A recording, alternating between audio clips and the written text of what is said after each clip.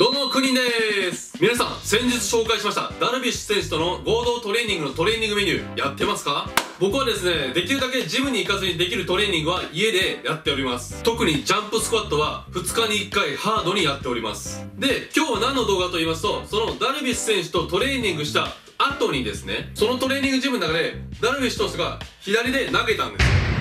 実はですね僕合同トレーニングの時にダルビッシュ投手の左投げの時に打席に立たせてもらってかつ変化球を投げてもらったんです。まあ、その時のお話をしたいと思うんですけどもこれがマジでエグいんです。まあ、初めはこうストレート投げたんですよ。でそれでも結構早めに投げてましてまあ、公式で投げてるせいかやっぱ軟式と比べて球数全然違うんですね。軟式だとよくあるのが、まあ、垂れるっていう感じなんですけどボールが垂れるっていうね。早くてもこう垂れるピッチャーでいっぱいいるんですけどもダルビッシュ投手のストレートは全然垂れないんですよ。物理の法則無視して同じ速度にずっと来るようなだからめっちゃ速く感じるんですよ。あの元ヤクルトの赤川投手って皆さんご存知ですか？ご存知僕の大好きなバンバータに今所属してるピッチャーなんですけどもその赤川投手がですねあの沖縄遠征で実はブルペン投球してるんですよ。でその時ですね僕ちょっと特別に打席に立たせてもらったんですけどもその時のまた赤川選手は8割7割8割ぐらいの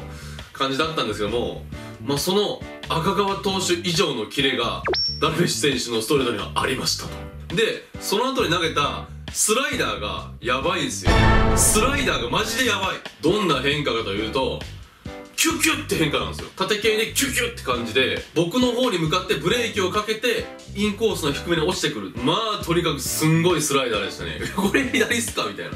これで左ですか？ぐらいの感じのスライダーでしたね。でほんとちょっと軟式と公式でちょっと球種は違うものですね。あの僕以前にあの夏にあの前澤君の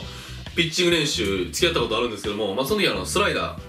前田君のスライダー投げてもらったんですけどもそのスライダーよりももうちょっと縦変化でキュキュってなってる感じなんですよね。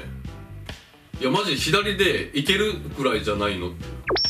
で制球がついたらあと本当にもう左でありえますよ。マジで。そのぐらいのレベルですよ。まあこのことから一つ言えるのはもし自分がね右肩とか右肘とか故障してしまっても投げれないってなってもリアルホンダ五郎は可能だってことですね。リアルメジャー可能ってこと。うわもう右投げれないってなった時にじゃあ一つ左でやっていくかってね。マジでこれありなのかなっていうふうに思いますね。ダルビッシュ選手見てるといや左もいけっしょっていう感じでしたから本当故障してもう野球できなくなったって人本当にガチで左練習したらこれありえますよこれ。これダルビッシュ選手が証明してくれてます。であのままいっちゃうとマジで150いっちゃいますよ左でそんな感じで故障してる投手にも勇気を与えてくれそうなダルビッシュ投手の左投げでございました。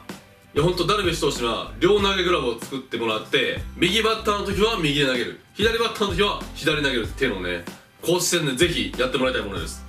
以上ダルビッシュ投手の左投げを体感した男からのコメントでございました。ダルビッシュ選手が全力投球のストレートスライダー左バージョンをインスタグラムにアップしてくれるのを皆さん待ちましょう。それでは失礼します。仲間とあの場所めがけ朝眠い目をこすって出かける。玄関出る前肩にかけてぐ。気持ちと道具詰め込んだエナメル